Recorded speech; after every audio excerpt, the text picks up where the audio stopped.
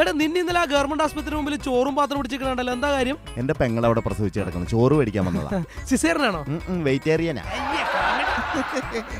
എടാ എന്റെ പെങ്ങക്കറിയോ? ഒരു പ്രസവത്തിൽ ഇരട്ട കുട്ടികൾ. രണ്ട് കുട്ടികൾ. ഇത്ര അതിലിത്ര അത്ഭുതപ്പെടാനൊന്നുമില്ല. എന്താടാ? മൊത്തത്തിലൊരു അക്ഷരാവസ്ഥയുള്ള കാലാണല്ലോ ഇത്. ഒറ്റയ്ക്ക് പുറത്തിറങ്ങാൻ ആരും മടിക്കും. എങ്ങനെയുണ്ട് ഇപ്പൊ വൈഫൊക്കെ ആയിട്ട്? ഓ ഒരുവിധം ഇങ്ങനെ അഡ്ജസ്റ്റ് ചെയ്തൊക്കെ അങ്ങ് പോണ്. നീ അവളെ ഇങ്ങനെ പുകഴ്ത്തി പുകഴ്ത്തി സംസാരിക്കായിരിക്കും അല്ലേ? അവളെ പുകഴ്ത്താ എന്റെ നാവൊന്നും പൊങ്ങൂല.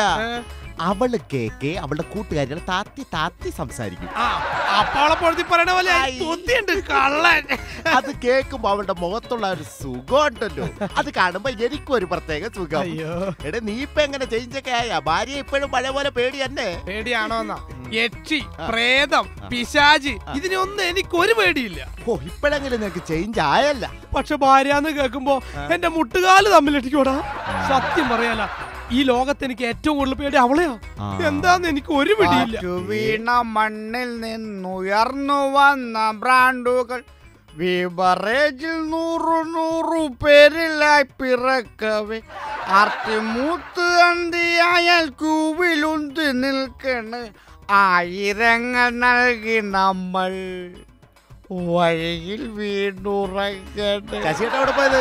ഞാൻ എന്റെ മോനെ അഡ്മിഷൻ മേടിക്കാൻ വേണ്ടി പോയാണ്. ആഹാ എന്നിട്ട് അഡ്മിഷൻ കിട്ടിയ? അവിടെ ഇല്ലെന്ന് അഡ്മിഷൻ ഇല്ലെന്ന്. അഡ്മിഷൻ ഇല്ലെന്നോ? ഇല്ലെന്ന്.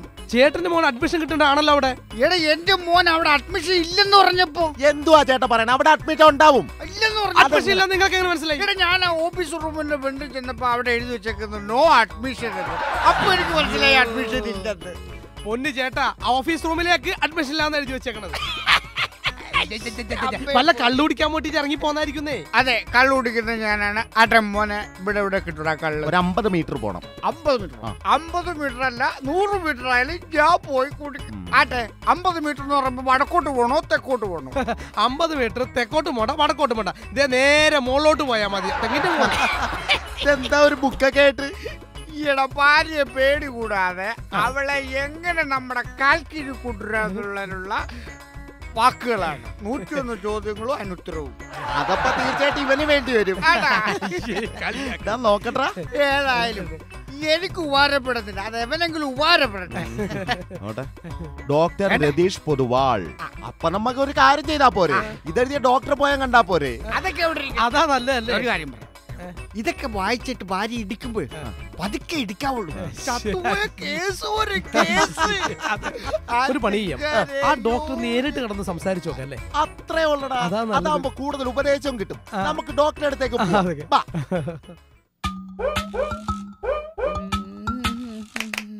ആ, ഞാൻ തുണിയും കൂടെ കൈയിട്ട ഇന്നത്തെ കംപ്ലീറ്റ് പണിയും കഴിഞ്ഞു. എന്നത്തെ പോലല്ല ഇന്ന്. ഡോക്ടറെ ഡോക്ടറെ. ഡോക്ടറെ. അയ്യോ ഒന്ന് കാണാൻ പറ്റത്തില്ലേ? കണ്ടേ ഡോക്ടർ. പറ്റൂ. ഇപ്പൊ കാണാൻ പറ്റിയല്ല ഞങ്ങൾക്ക് ഡോക്ടറെ കാണണം. ഇപ്പൊ കാണാൻ പറ്റത്തില്ലെന്ന് പറഞ്ഞില്ലേ? എന്റെ പൊന്നോ ഞങ്ങൾ കുറച്ച് ദൂരേന്ന് വരിക. ആ. ഇവനാണെങ്കിൽ ഭയങ്കര ഭാര്യയെ പേടിയും. ഞങ്ങൾക്ക് ഡോക്ടറെ കണ്ടിട്ടേ പോവാൻ പറ്റുള്ളന്നേ. എടോ ഇപ്പൊ കാണാൻ പറ്റത്തില്ല. കൺസൾട്ടിങ് ടൈം അല്ല. കുറച്ച് കഴിഞ്ഞിട്ട് വാകട്ടോ അത് തീരുമാനിക്കാൻ താനാരാ? എടോ ഞാനാണോ ഡോക്ടർ രതീഷ് പൊതുവാൾ? എന്റെ ഭാര്യ വരുന്നതിന് മുമ്പ് ഈ വീട്ടിൽ എല്ലാ പണിയും ചെയ്തു വെച്ചിട്ടില്ലെങ്കിലേ എനിക്ക് പച്ചവെള്ളം കിട്ടത്തില്ല. എനിക്കും അവളെ